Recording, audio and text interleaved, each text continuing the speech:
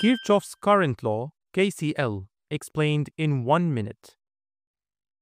KCL states that, at a node, the algebraic sum of currents must always equal zero.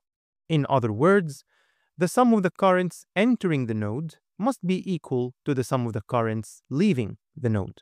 And this is a direct consequence of the law of conservation of charge, because current is nothing but the rate of charge flow. Coupled with Ohm's law, KCL allows us to solve many electric circuits.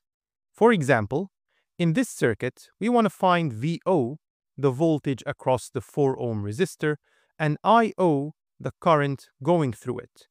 We know by Ohm's law that VO must be equal to R, 4 ohms in this case, times IO. This is a single equation in two unknowns. To get a second equation, we'll look at this node at the top, call it A, and apply KCL at this node.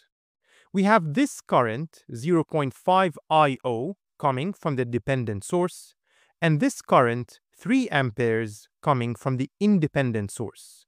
By KCL, we know that the sum of the two currents must be IO, the current exiting node A.